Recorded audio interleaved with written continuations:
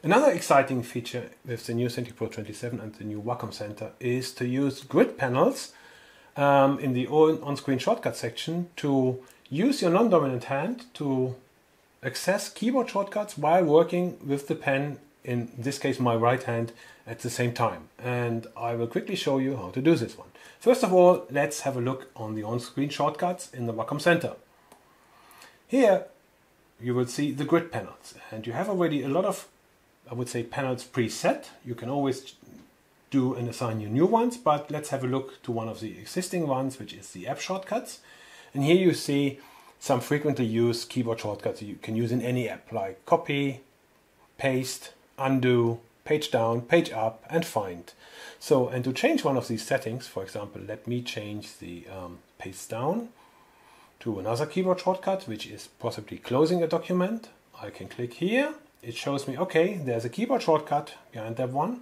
I'm click here and now it shows me, okay, there is a page down key, but I want to change this one. I hit on clear, enter that window, enter for example Command W to close the document on my Macintosh.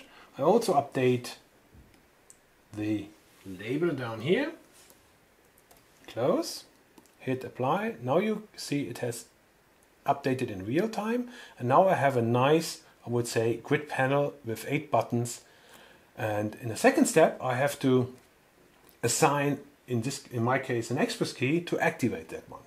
And to do this, I go back to the devices, click on Express key, and here I will, will use my top Express key on my left side, so my non-pen hand side.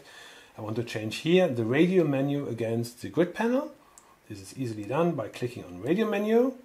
And now you will see here in the actions window all my grid panels. I click on app shortcuts and now you can see it's there.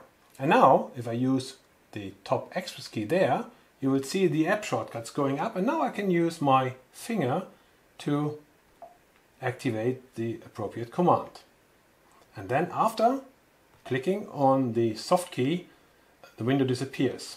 There's another nice feature with the pin here. If I pin that menu, then the app shortcut menu stays on the screen and I can have it always in range of my non-dominant hand and I can use it all the time instead of reaching to my keyboard and finding my keyboard shortcut. This can be quite handy and I can still change the position to my most, I would say, comfortable one.